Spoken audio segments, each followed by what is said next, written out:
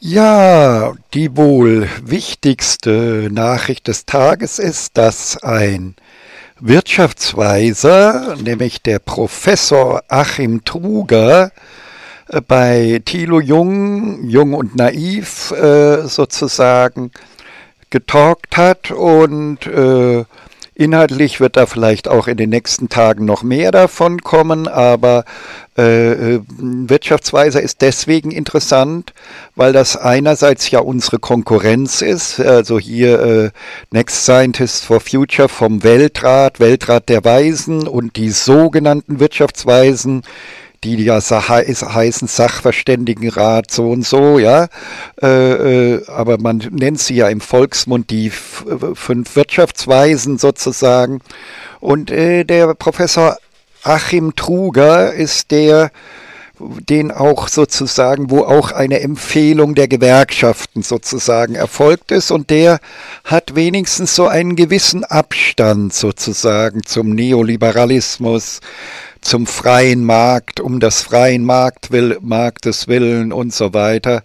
Ja, also insofern und deswegen haben wir ihn natürlich dann auch sofort äh, sozusagen eingeladen äh, in, in, in unsere Talkshow Demokratie pur und so weiter. Äh, wäre natürlich schön, wenn man da mal in ein konstruktives Gespräch zwischen den Professorinnen und äh, äh, äh, Professor Achim Truger kommen würde, würde. Die anderen dürften zu neoliberal sein, um dann überhaupt mit uns sprechen zu wollen, weil wir dann ihr Weltbild natürlich zu sehr zerstören müssten. Also Schluck Wasser.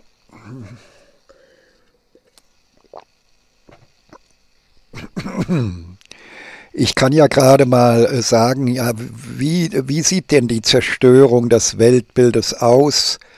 Äh, ich mache es mal am Beispiel der Corona-Krise.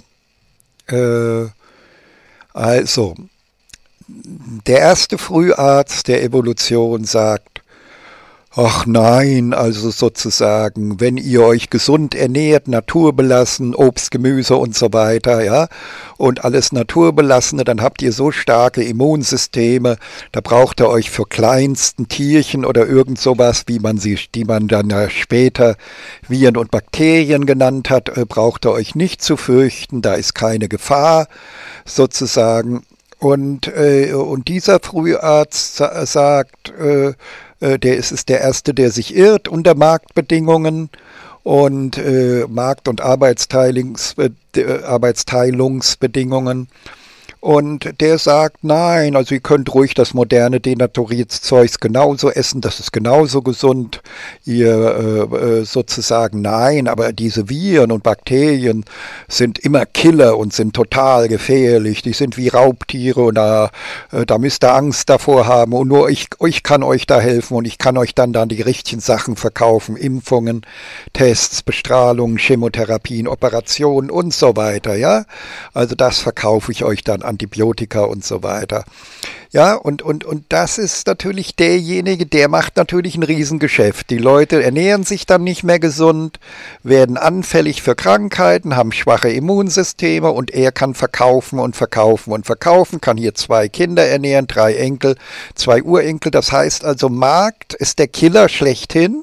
Markt führt dazu, dass in der Evolution das nach, nach Markt und Arbeitsteilung Solange es ungelenkt ist, kommt es also zur Evolution, zur Ausbreitung der gewinnbringenden Irrtümer, der vorteilbringenden und karrierefördernden Irrtümer. Und dadurch werden wir alle zerstört und vergiftet, ja? Oh, werde ich ja nach gleich noch. Also das bedeutet also, dass eigentlich jeder normale Volkswirt natürlich jetzt im Viereck springt, weil er damit, wenn er das verstehen würde, also wenn er die naturwissenschaftliche Volkswirtschaftslehre verstehen würde, würde er sofort wissen, dass er umsonst studiert hat, weil er, er, er sozusagen erst als erste Maßnahme erstmal den Markt beenden müsste.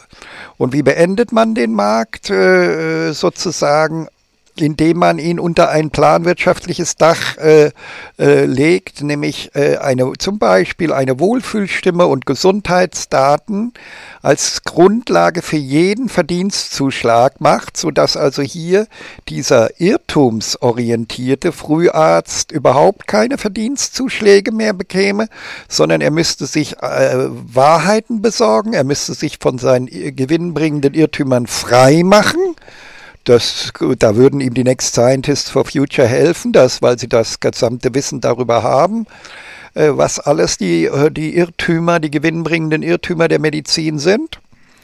Und äh, er müsste eben lernen, durch Lebensstilmedizin die Menschen gesund zu halten. Ne?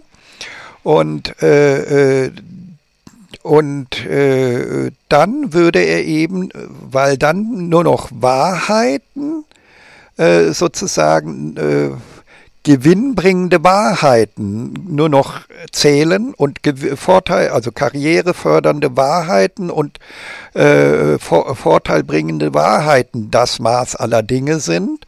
Und wenn er äh, zu wenig Wahrheiten hat, dann wird er keine Verdienstzuschläge bekommen und dann wird er pleite gehen. Ne? Also das heißt, nur mit einem planwirtschaftlichen Dach wird danach wieder vorsichtig und gezielt Markt kann dann positiv eingesetzt werden. Aber ohne das planwirtschaftliche Dach ist Schutzdach, ist sozusagen Markt der große Killer von allem. Ne? Die soziale Marktwirtschaft ist der Killer, der uns alle vergiftet. Naja, also kommen wir gleich nochmal zu. Ja, ich gehe mal so einfach ein bisschen weiter, so ein paar Nachrichten äh, weiter.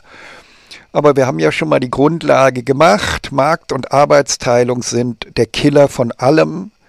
Erst durch ein planwirtschaftliches Schutzdach über Markt- und Arbeitsteilung äh, können wir äh, sozusagen weiterreden. Ja?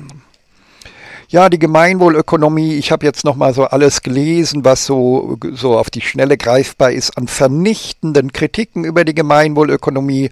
Das sind im Prinzip die gleichen Punkte, die ich auch selbst immer genannt habe, warum die Gemeinwohlökonomie uninteressant ist. Sie ist auch schon äh, praktisch in, der, in den Kritiken abgehakt und sie, ant sie antwortet auch nirgends auf diese Kritiken sozusagen, sondern ignoriert sie einfach, verhält sich da wie eine Sekte sozusagen, äh, die die so ihr Business weitermacht, äh, äh, aber geht gar nicht darauf ein, dass ihre äh, Form der Bilanzierung von so viel Vermutungen und Wahrheiten und Abschätzungen ist, äh, getragen ist, dass es wahrscheinlich eine riesige Prozessflut und einen riesigen Streit darüber geben wird.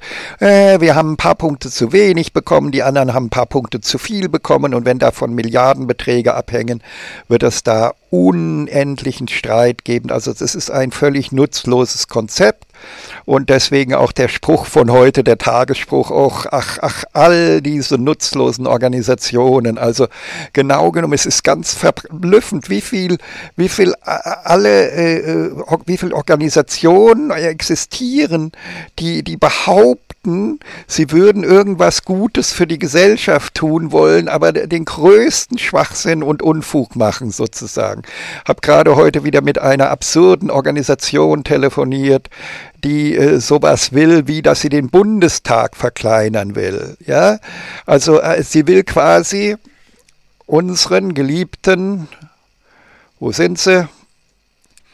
Unseren Milliard beliebten, geliebten Milliardärskönigen und unseren Politikkönigen will sie sozusagen ihre Jobs wegnehmen. Ja, denn was heißt äh, Bundestag verkleinern? Heißt, vielen Bundestagsabgeordneten ihren Job wegnehmen und ihr fürstliches Gehalt wegnehmen.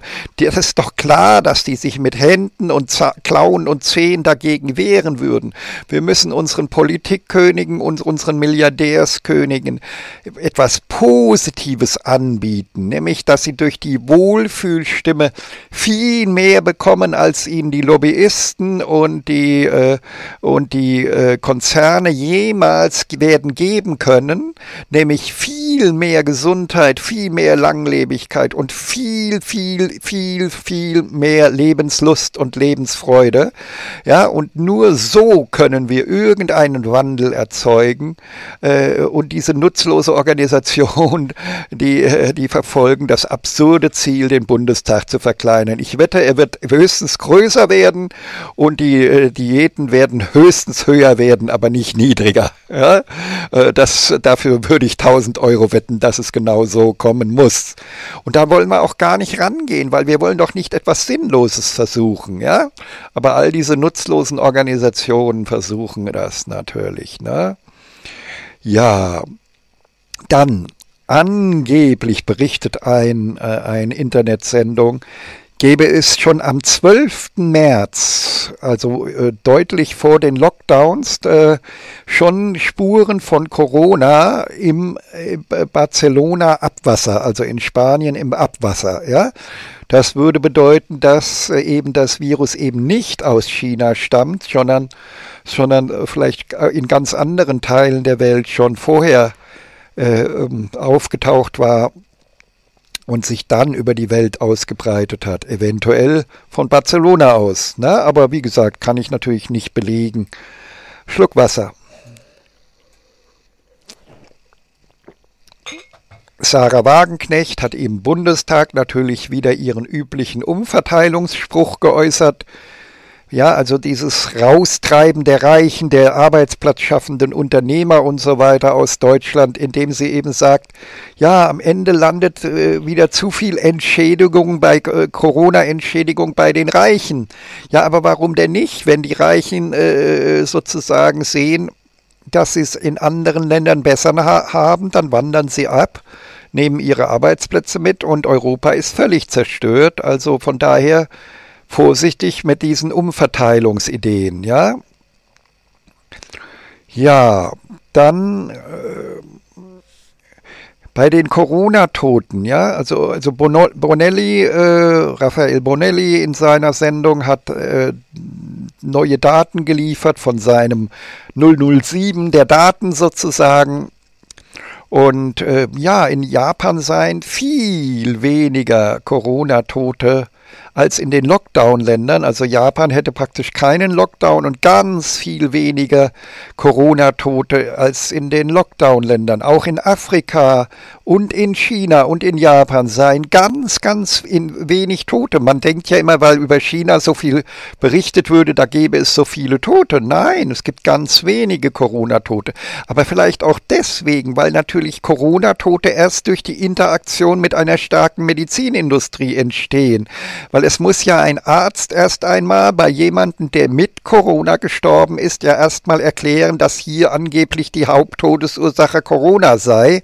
Ja, und das heißt, vielleicht haben die deswegen auch wenig Tote in den Statistiken sozusagen, weil sie wenige Ärzte haben und dadurch wenige wenige äh, äh, westlich-medizinische Diagnosegewohnheiten sozusagen aus jedem, der äh, mit Corona gestorben ist, dann gleich einen Voll-Corona-Toten zu, zu, zu, machen, der als quasi, als ob er äh, als einzige Todesursache Corona gehabt hätte. Also wir müssen bei allem immer bedenken, diese Interaktion, wo ist die Medizinindustrie stark und sorgt aufgrund ihrer Stärke dafür, dass sehr viele Menschen als Corona-Tote eingestuft eingestuft werden, die vielleicht äh, bei denen das Corona allerhöchstens ein das letzte äh, Tröpfchen waren, das das Fass zum Überlaufen gebracht hat, äh, das Sterbefass. Ne?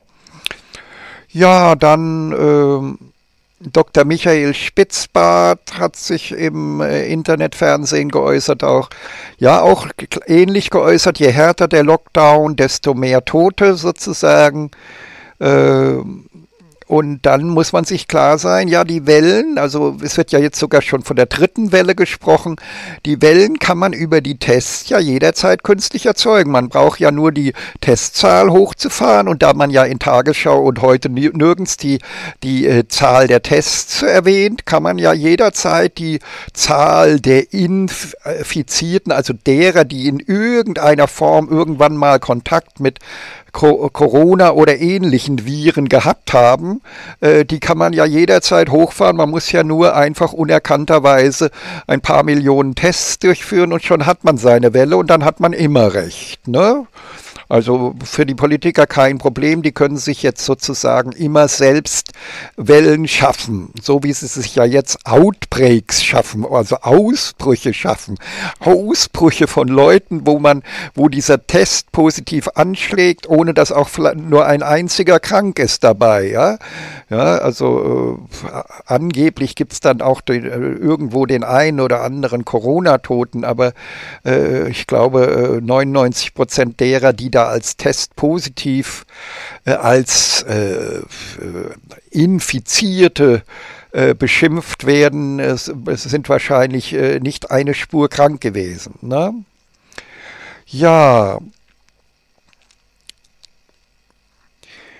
Ja, dann müssen wir uns nochmal grundsätzlich überlegen, äh, also zur Gefährlichkeitsüberschätzung, das habe ich ja eben schon genannt, gell? das hatte ich ja eben schon gemacht, äh, dass eben Markt und äh, Arbeitsteilung zwangsläufig in der Evolution des Gesundheitswesens zu gewinnbringenden Irrtümern führen müssen, die die Gefährlichkeit von Viren und Bakterien grundsätzlich überschätzen müssen und lassen, ich denke, das ist die einzige zentrale echte Ursache für dieses ganze, für diesen ganzen Corona-Hype, nämlich dass, dass eben die Grund Problematik von marktwirtschaftlicher Medizin ist, dass immer Gefährlichkeitsüberschätzung, äh, das ist wie Klappern, das gehört zum Handwerk sozusagen, Klappern gehört zum Handwerk.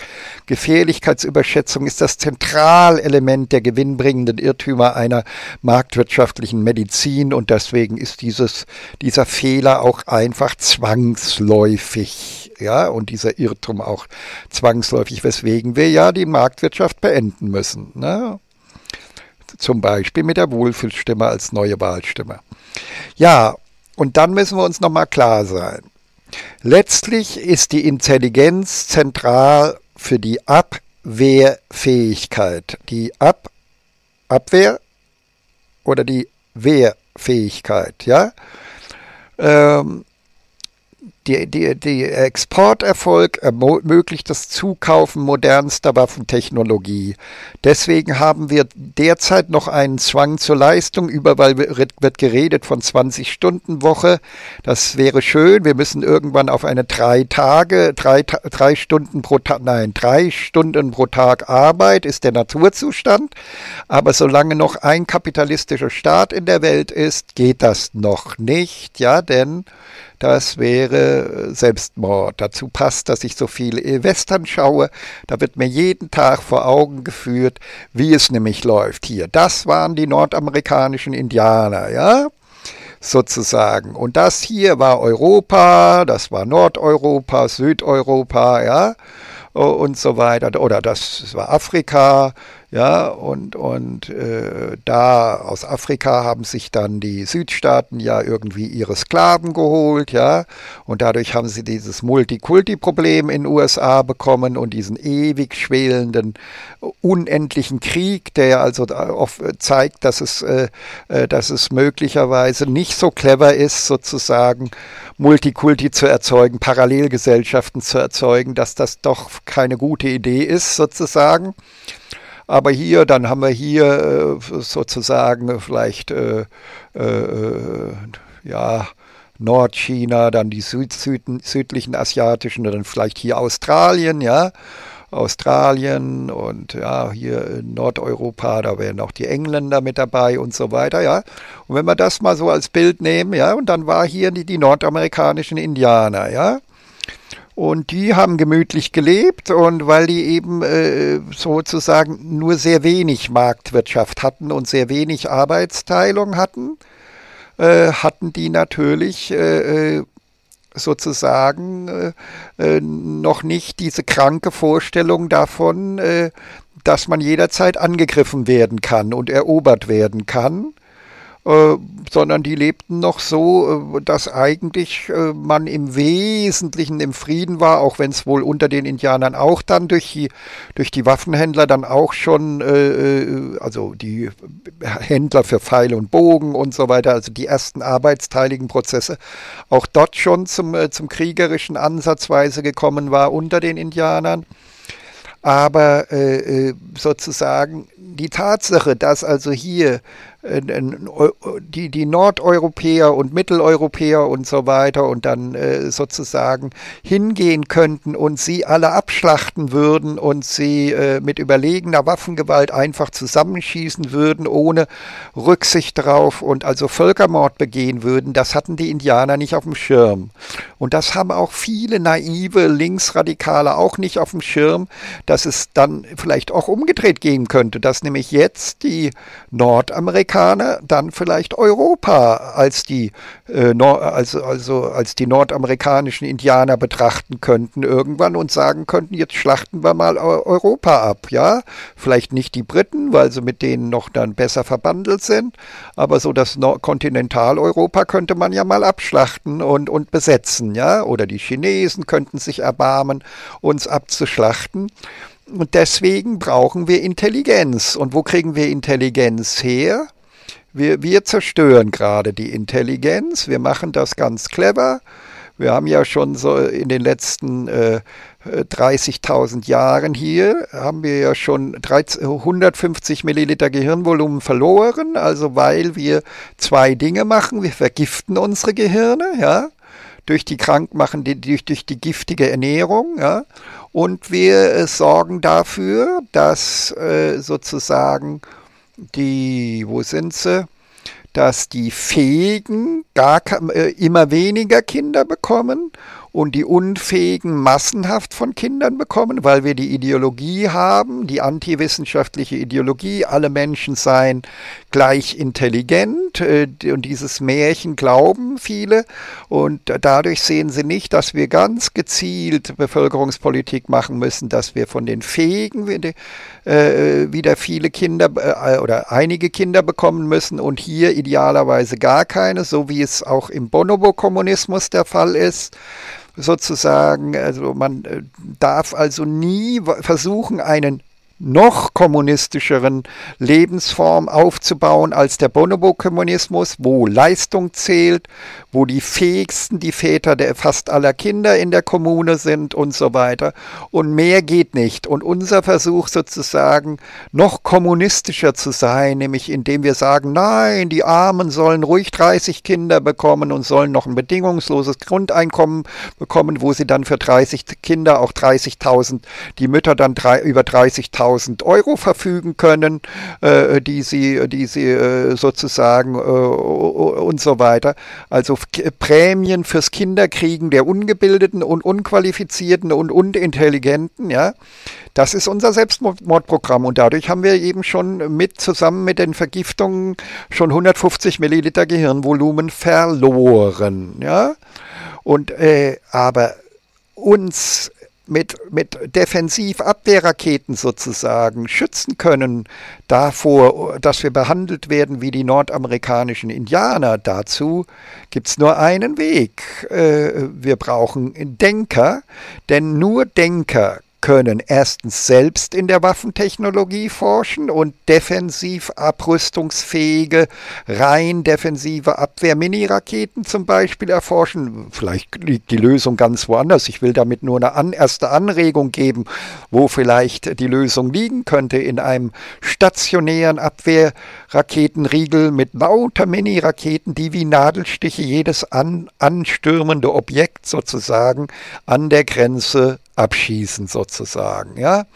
Und, äh, und das würde dann bedeuten, dass also äh, Nordeuropa geschützt wäre durch solch einen Ring an Abwehrraketen oder Deutschland alleine. Und äh, dann, äh, und dafür brauchen wir ganz intelligente Techniker intern und wir brauchen ganz, auch noch sonst ganz intelligente, leistungsfähige Leute, die leider noch ein bisschen länger arbeiten müssen als die täglichen drei Stunden am Tag.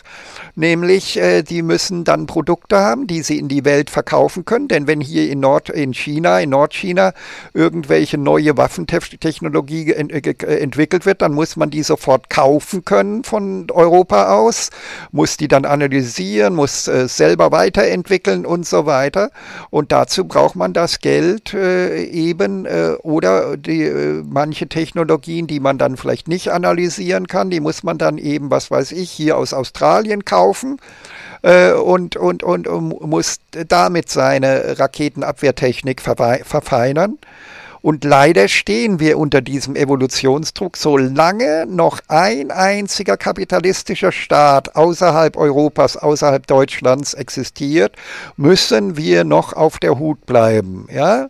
Weil dieser eine Staat wird dann der sein, der Europa abschlachtet und erobert und als nordamerikanische Indianer betrachtet und äh, keinerlei Skrupel haben wird, einen Völkermord zu begehen.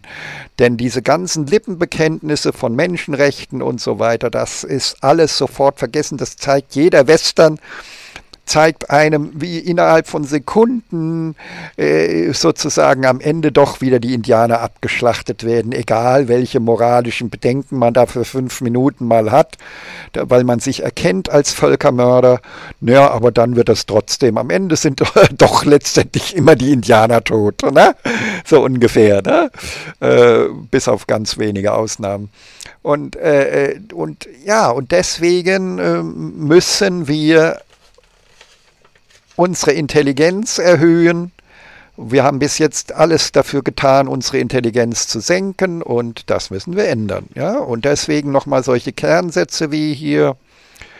Äh, ja, äh, die soziale Marktwirtschaft ist also ein Giftmörder. Das muss man sich mal klar machen. Ist also ein Killer, ein Giftmörder. Stellen Sie uns vor, es würde ein Mörder hingehen, ein Giftmörder, und wir reden immer so beschönigend davon. Ja, wir reden so beschönigend davon.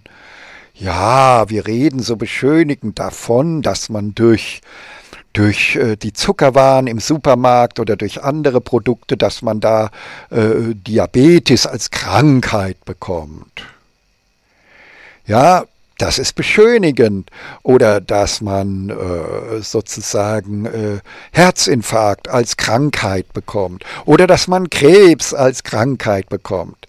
Formulieren wir es doch mal weniger beschönigend. Sagen wir doch mal, nein, äh, äh die soziale Marktwirtschaft ist ein Giftmörder, der uns mit Gift so lange füllt, bis wir Vergiftungserscheinungen bekommen, die dann wir beschönigend als Krebs bezeichnen oder als Diabetes oder als Herzinfarkt bezeichnen. Aber es sind in Wirklichkeit Vergiftungsfolgen.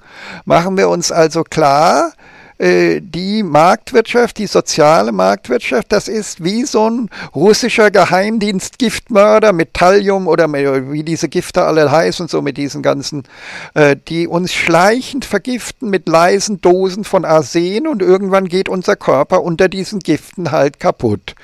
Das ist die Wahrheit. Und wir sterben deswegen wegen dieses Giftmörders sterben wir mit 80 statt mit 127 und wir werden schon krank mit 7 47 anstatt gesund mit 127 zu sterben. Wir verlieren also 80 gesunde Lebensjahre und wir verlieren insgesamt 47 äh, normale Lebensjahre durch den Killer soziale Marktwirtschaft. Und das ist eigentlich die einzig realistische Formulierung. Ja? Also wir müssen sprechen von äh, sozialer Marktwirtschaft als Giftmörder. Und ihr selbst als Zuschauer könnt entscheiden, wie viel Prozent als Giftmörder davon die Medizin Medizinindustrie mit ihren Chemotherapien ist und, und wie viel davon die Ernährungsindustrie mit ihren Giften ist. Ja? Also es ist äh, sozusagen, und die Logik ist ganz einfach. Äh, es ist einfach äh, äh viel billiger, also wo sind wir? Andere Ende wahrscheinlich, ja es ist viel billiger, ja, also sozusagen zum Beispiel Zucker zu verwenden und eben zu verschweigen, dass Zucker ein schleichendes Gift ist, das die, Kör die Körperzellen zerstört und Körperteile zerstört sozusagen, sondern es ist äh, äh sozusagen äh, wenn man viel Geld hat, weil man viel verkauft, kann man die Gesellschaft so lange beeinflussen, dass Zucker eben nicht als Gift gilt, so ähnlich wie auch über Jahrzehnte hinweg Tabak und Nikotin und, und Zigaretten und so weiter nicht als Gift galten, bis dann allmählich äh, man irgendwie es geschafft hat, dass immerhin jetzt Zigaretten so als Gift gelten, äh, auch wenn die Tabakindustrie sich immer noch gut im Umsatz hält trotzdem, ja. Aber auch äh, so, also insofern ist es also so, dass unter Bedingungen von Markt- und Arbeitsteilung ohne planwirtschaftliches Dach zwangsläufig, also lauter billige Substanzen, die in Wirklichkeit schleichende Gifte sind, aber billiger sind in der Herstellung, einfach äh, zur Herstellung billigerer Produkte führen und da die Giftwirkung langsam und schleichend ist, äh, fällt das nicht größer auf und stört auch nicht größer den Umsatz, weil die Leute ja nicht sofort tot, tot umfallen, sondern eben noch massig, massig Kinder in die Welt gesetzt haben, die dann auch wieder süchtig nach diesen giftigen Produkten geworden sind. Und äh, ja, und, und dadurch läuft das Spiel immer weiter. Also Markt ist nicht fähig, dieses äh, Ding zu stoppen, ja, sozusagen. Ja. Ja, denkt mal in diesem äh, neuen äh, äh, Modell. Es handelt sich alles im Marktwirtschaftlichen entwickelt sich zu Giftmördern und die töten uns. Denk, denkt nur an die Autoabgase, da werden wir da über die Autoabgase von Giftmördern getötet sozusagen oder durch Umweltgifte, da werden wir da über Gifte äh, vergiftet und getötet und so weiter. Natürlich gibt es noch mehr als Giftmord, aber äh, äh, sagen wir mal so, der Giftmord hat bestimmt einen riesigen Anteil an unserer vorzeitigen Sterblichkeit ne? Und, und verfrühten Sterblichkeit. Ja, dann war wieder ein Gemeinwohlökonomie-Vortrag. Ja, ich habe es ja schon erwähnt, dass diese vernichtenden Kritiken ja alle nicht beantwortet werden und die GWÖ sich doch äh, nicht sehr rege. Wir hatten einen Gast äh, in der Talkshow, aber sie stellt sich eigentlich offensichtlich der Kritik an ihren Konzepten nicht äh, wesentlich und ja, diese Sachen verhalten sich eben doch alle wie Sekten. Ne? Ja. Ja, und er spricht bei dem Vortrag von Zufriedenheit. Äh, das wäre ja dann die Wohlfühlstimme, aber das fehlt eben dieser, eins, äh, dieser entscheidende Schritt, dass man, äh, aber und er zeigt eben richtig auf, dass die Zufriedenheit nicht angestiegen ist zusammen mit dem BIP, aber das ist schon lange bekannt, dass es eher gefallen ist. Also die wir, wir werden immer reicher, aber werden immer unglücklicher. Ja, und das so etwas kann eben nur die Wohlfühlstimme messen. Eine Zufriedenheitsstimme wäre ja das, wäre ja das gleiche wie eine Wohlfühlstimme. Aber dieser einzige Sprung fehlt, also einfach zu sagen, nee, wir müssen von, von einer labbrigen Gemeinwohlbilanz mit labbrigen Pseudopunktwerten müssen wir zu den knallharten Daten einer Wohlfühlwahlstimme und einer äh, Gesundheit und Gesundheitsdaten zu knallharten Zahlen diesbezüglich, die unverrückbar sind und wo man wirklich dann ein neues Wirtschaftssystem dran aufhängen kann, sozusagen. Ja? Ja, und der Staat insgesamt, ja, kann man sagen, im Moment ist der Staat, äh, gebärdet sich im Moment einfach als williger Sklave von Big Pharma. Ne? Ist einfach so und äh, ist nicht abänderlich, weil äh, der Aberglaube ist, Experten in der Marktwirtschaft seien nicht gefährlich. Also wir von den Next Scientists for Future sagen, nein, Vorsicht.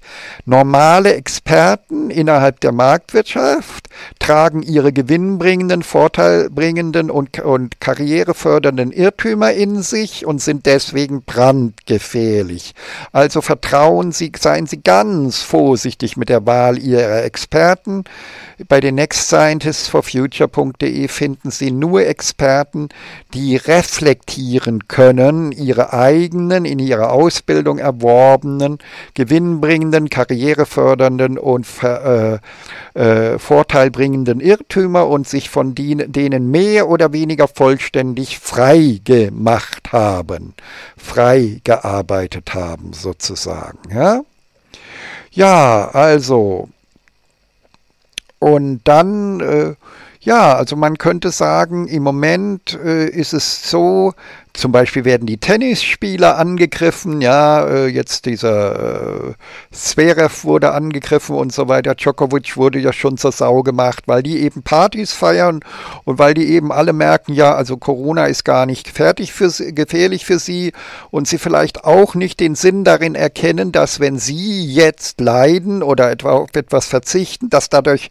wirklich faktisch konkret ältere Menschen gerettet würden, die äh, vor einem Killer Virus. Also offensichtlich sind die auch nicht äh, überzeugt, die Tennisspieler, dass es wirklich so wäre, dass dieses Narrativ, was da erzählt wird, ja, wenn ihr Tennisspieler jetzt auf eure Partys verzichtet, dann führt das dazu, dass weniger Alte sterben müssen, unnötig sterben müssen. Ja, dieses Narrativ habe ich ja gestern schon in Frage gestellt. Das scheint ja nicht so zu sein, dass es da wirklich eine direkte Beziehung äh, gibt. Äh, äh, ja gut, äh, aber wenn, dann müsste man da wirklich äh, den Alten völligen Freiraum gehen und die Jungen ins Gefängnis sperren, dann geht allerdings die gesamte Wirtschaft kaputt und darunter leiden dann auch die Alten.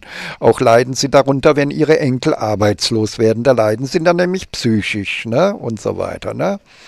Na gut, wie dem auch sei, das äh, wollen wir mal offen lassen, wie das äh, sein soll, aber und unglaublich ist es, dass es im Moment so einen richtigen äh, Testgeschäftsterror gibt. Ja, da am, am, Frankfurter Flughafen, da wird so eine Abzockstelle äh, wurde eingerichtet, ja, wo die Leute abkassiert werden äh, und äh, äh wenn sie die, aus der Testhysterie herausfolgen oder wenn sie überhaupt schneller einreisen wollen und eine Quarantäne umgehen wollen, müssen sie Tests kaufen. Ne? Ist doch wunderbar, wie marktwirtschaftlich das wieder funktioniert, wie das Milliarden Milliardengeschäft äh, äh, funktioniert. Und tatsächlich läuft immer noch lauter weiter dieser Traum von davon Milliarden Menschen zu impfen, das läuft immer noch voll weiter. Also der Staat als Sklave von Big Pharma und Big Impfindustrie und Big Testindustrie und angeblich ist ja der Kollege von Professor Drosten äh, kassiert ja Hunderte von Millionen jetzt durch die Testverkäufe. Na, ja, und immer nur weiter mit der sozialen Marktwirtschaft, bis wir alle vergiftet sind. Ne? Ja, immer nur schön weiter mit der äh, sozialen Marktwirtschaft. Ja. Ja, also das war's schon wieder und jetzt wieder, ach, ach nee, jetzt habe ich einen Fehler gemacht. Äh, äh, jetzt äh, wieder schön hier. Äh,